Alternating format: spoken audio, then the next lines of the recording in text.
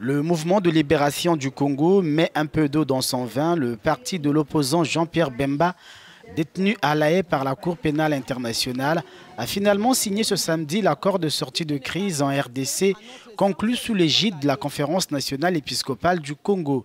Il a fallu donc attendre 14 jours après la conclusion de cet accord pour voir le MLC rejoindre la liste des signataires de ce document. Le MLC et ses alliés voulaient obtenir des garanties de bonne exécution de l'accord et nous les avons obtenues a fait savoir Eve Bazaïba, sa secrétaire générale. Plusieurs autres entités tardent à approuver l'accord du 31 décembre, privant ainsi à ce document un caractère inclusif. Le président de la SENCO se veut rassurant. Avec la signature du MLC, nous tendons vers l'inclusivité, a fait savoir Monseigneur Marcel Outembi. L'évêque encourage d'ailleurs d'autres forces à adhérer à ce processus afin de favoriser la tenue des élections au plus vite.